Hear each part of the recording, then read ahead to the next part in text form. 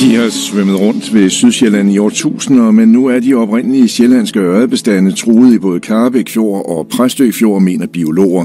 Men selvom Miljø- og Fødevareminister Esben Lunde Larsen allerede for knap to år siden bebudede, at der skulle gøres noget for at beskytte ørrederne, så er der stadig ikke sket noget, konstaterer folketingsmedlem Magnus Heunicke fra Socialdemokratiet. Jeg prøver at presse på her, fordi når vi har fået et ministersvar, der siger, at det, der vil komme øh, nye regler i høring i 2000, inden udgangen af 2016, står der på skrift, øh, så er der altså behov for, at vi nu får hanket op i sagen, fordi der er altså ikke sket noget. Og, og de der øh, øh, sjællandske øredebestande, der kan vi jo altså bare se øh, på optællingerne, opmålingerne, at de kommer ikke af sig selv. Der skal altså gøres noget fra myndighedernes side, så nu må vi have øh, det her i gang. Magnus Heunicke har derfor spurgt nuværende fiskeriminister Karen Ellemann, hvornår der kommer nye regler om fiskeriet på Sjælland. Ifølge fagfolk er, den, er ørerne nemlig truet af intensivt garnfiskeri i fjordene. I en rapport fra Fishing Sealand blev det allerede for tre år siden konstateret, at kun få procent af ørerne vender tilbage til vandløbet, når de skal op for at gyde, på er formanden for Sydsjællands Ørredfond, Søren Grote Petersen. Der skal nogle restriktioner på fiskeriet. Det er helt klart, altså at øh Øh, det er jo væsentligt skarn, som vi mener, der er problemet. Der har man jo ikke rigtig, ligesom mulighed for at, at genudsætte dem igen, hvis man fanger dem. Øh, og øh, man kan jo afspærre store områder med det. Sagde altså Søren Grote Petersen.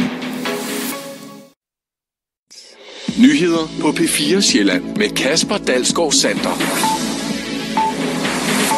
Flere oprindelige sjællandske ørredbestande risikerer at uddø, hvis der ikke bliver grebet ind.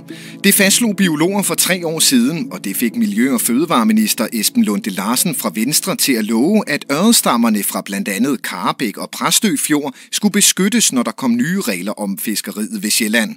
Men siden da er der fortsat ikke kommet regler, der kan hjælpe fiskene, og det får nu det socialdemokratiske folketingsmedlem Magnus Heunicke til at presse på over for den nuværende fiskeriminister Karen Ellemann. Det går for langsomt, og jeg synes, at som minimum kan man forvente, at at øh, Miljø- og øh, Miljøministeriet lever op til, til, til de øh, frister, de selv har sagt til Folketinget. Og det var altså inden udgangen af 16, at de skulle have været i gang med det her. Formanden for Sydsjællands Øredfond, Søren Grote Petersen, siger, at de oprindelige øredebestande er mere hårdføre, fordi de er tilpasset livet i de lokale vandløb.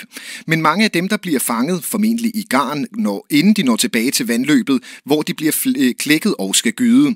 Søren Grote Petersen siger, at det haster med at få grebet ind mod overfiskeri. Det er simpelthen altså, at de her bestande bliver så små, så at, at, at øh, de ikke kan, kan regenerere ordentligt. Altså, at der bliver for få fisk.